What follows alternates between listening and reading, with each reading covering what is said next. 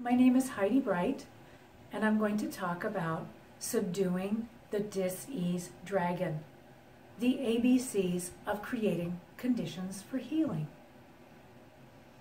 It all started for me in 2009. I got the paralyzing message there was no cure for this type of uterine cancer. I was terrified and in shock. I didn't even know what to ask. It was already end stage, stage four, with the most aggressive cells. What do you do? Sound familiar? Sitting in the doctor's office and you hear the word cancer or some other debilitating disease? If that doesn't sound like a death sentence, I don't know what does. Then it hit me. I'm a mother. What's going to happen to my kids? With all due respect, the doctor had very little to offer. I also remembered my mother passing from breast cancer. That was horrible, and I didn't want to repeat that for myself. This is the dis-ease dragon. It can feel overwhelming. It can feel like your life is on fire. I faced two years of really tough chemotherapy treatments, 42 days of infusions, three major surgeries. But the cancer was relentless. It kept coming back. After my third major surgery, guess what news I got? Get your affairs in order. Like my life was over. Yet during those two years, I underwent an enormous personal makeover. I changed my attitudes, my behaviors, and made some major life choices. This brought healing to my heart and my mind, and my body followed. I have been free of evidence of disease and free of any medical treatment for cancer for, since 2011. Then I realized I had used my journalism background to research everything I could to save my life. And my friends agreed you've got to write a book. You've got to get this information out there to help other people. And that's how Thriver Soup was born. It's traditionally published, has more than 250 practical tips for the healing journey, and it's endorsed by a surgeon and breast cancer patient advocate. And then something wonderful happened. Readers from all over began connecting with me, telling me how Thriver Soup was giving them genuine hope and options. Here's a message that came through on Facebook. We have our first appointment with our oncologist on Monday. The course of treatment we are expected to have presented to us features aggressive radiation. As I opened Thriver Soup, I flipped over a few pages and stopped on page 79. Right there, outlined with specific questions for particular physicians, was the key to a much more successful and informative consult with the radiology oncologist. Heidi's book is already helping us in miraculous ways, and I really like the format she's chosen. So much great advice is packed onto every page. But it's presented in a casual, uncomplicated way. It is comforting to the people who are concerned, even afraid, of their prognosis, because the text provides a plan and a focal point every step of the way. Thank you for, so much for providing us with this remarkable book. From fear to hope, the comments keep coming in. Thriver Soup is really helping people find options and hope. So I want to talk about how this can be useful in your life. I'm living proof. I'm not talking about a cure. I'm talking about healing ourselves, healing our bodies, healing our hearts, healing our minds.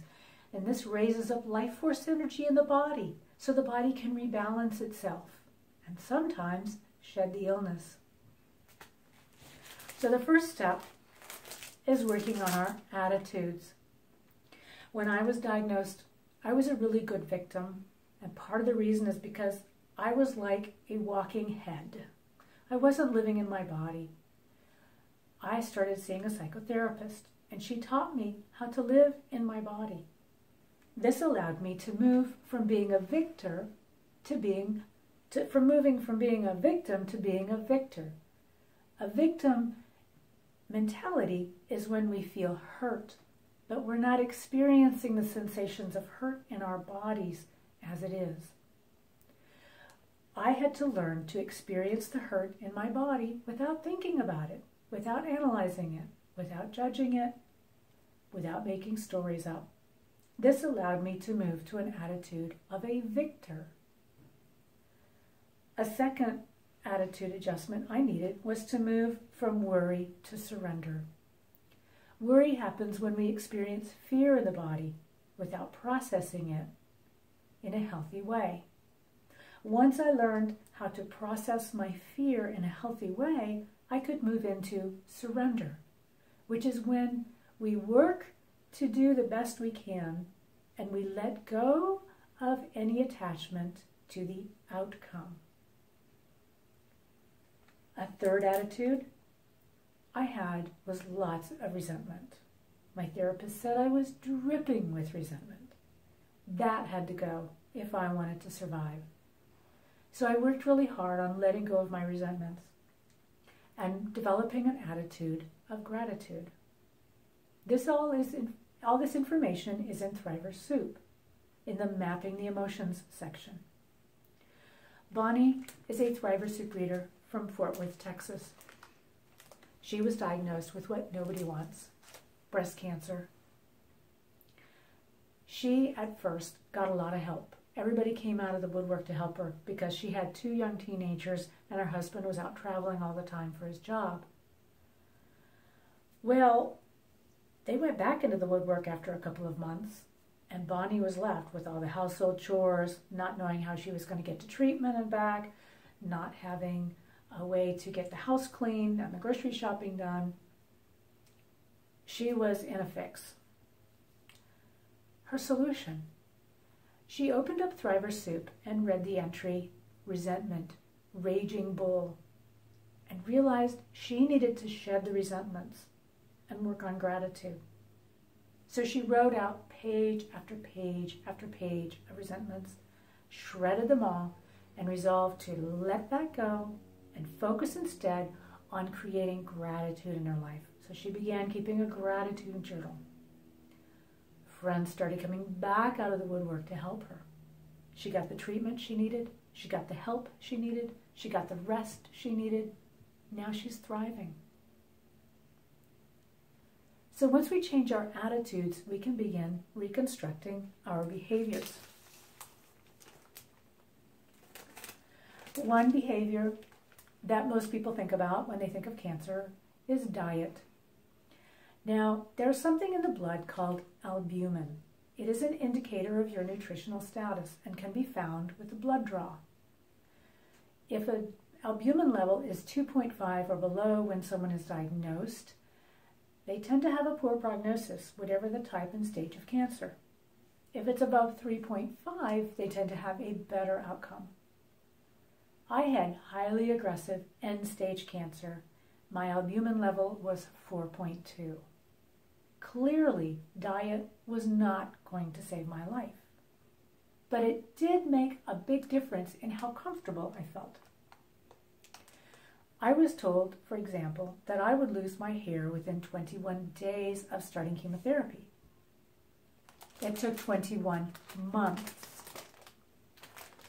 This is 21 months after I started chemotherapy.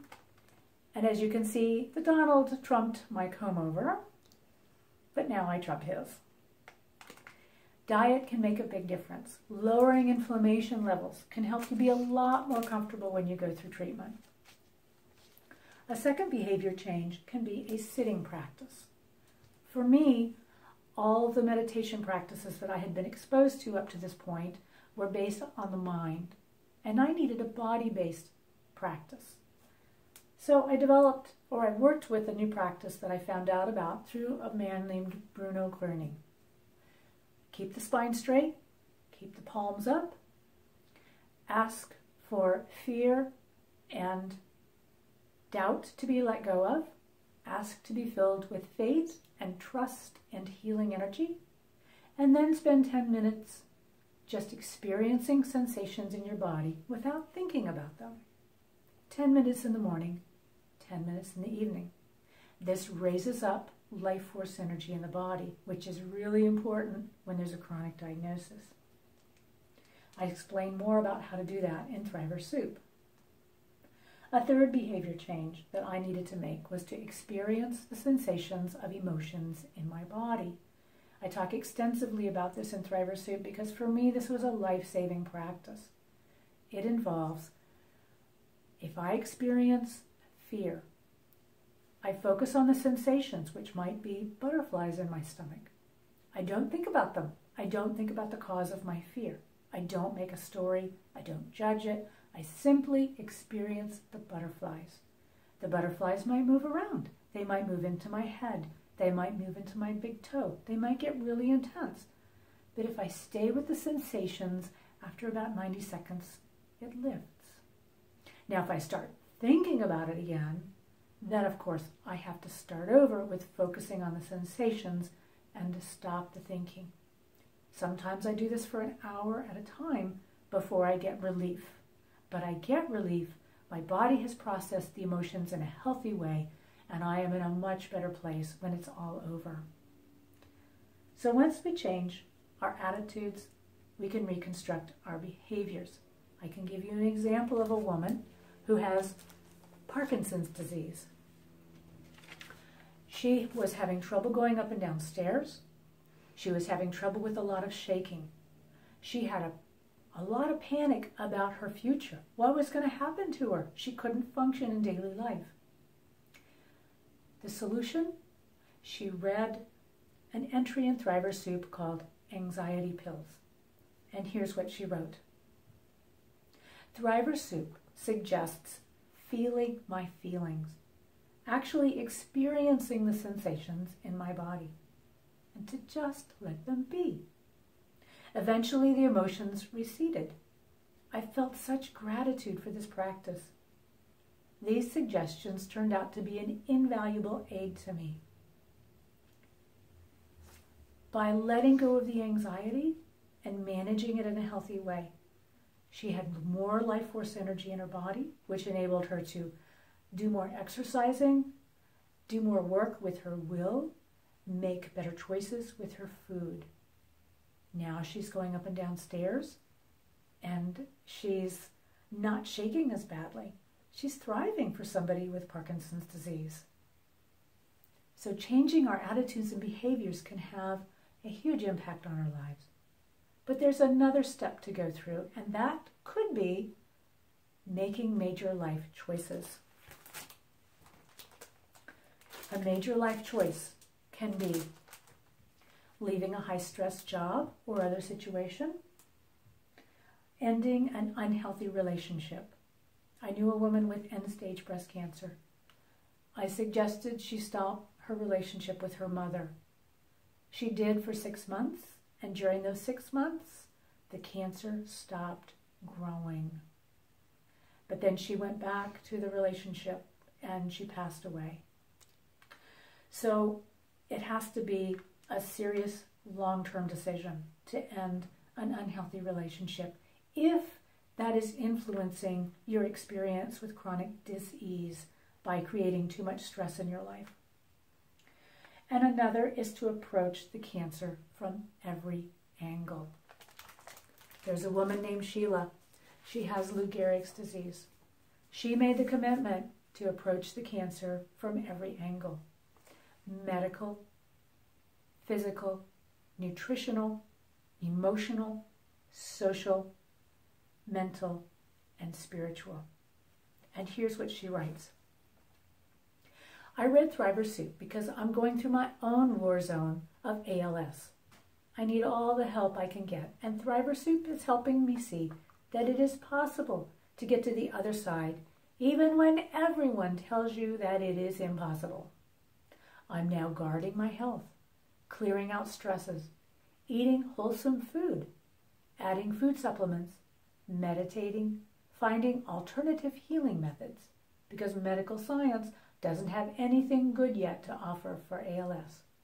Taking naps, pursuing my dreams, and living my life. She's been taking trips. She's been getting the help she needs. She is thriving considering her situation. She's not cured, but she is doing far better than she would have been if she hadn't been taking up these major life choices. And the major life choice does not necessarily end with round one. An attitude shift can lead to a major life choice. A major life choice can lead to changed behaviors. It's a cyclical, progressive process. It needs to be revisited again and again when dealing with a chronic disease. If you want to find out more, if you want to find out ways to heal your life, Thriver Soup has 250 options that you can try. I also have a blog that comes out every week you can sign up for. If you sign up for my blog, I'll send you a list of my top 10 tips for dealing with cancer. And then you'll get the weekly blog in addition to that. On the website, I have guided visualizations that can be explored for possibly talking to any diseased cells in the body. I've had people discover that the reason for their pain in the shoulder was that they were shouldering too many responsibilities. It's all individual. The guided visualizations will give you ideas on which path to follow for your healing. So take a look in the mirror. You've got nothing to lose and everything to gain. Take a look at your life.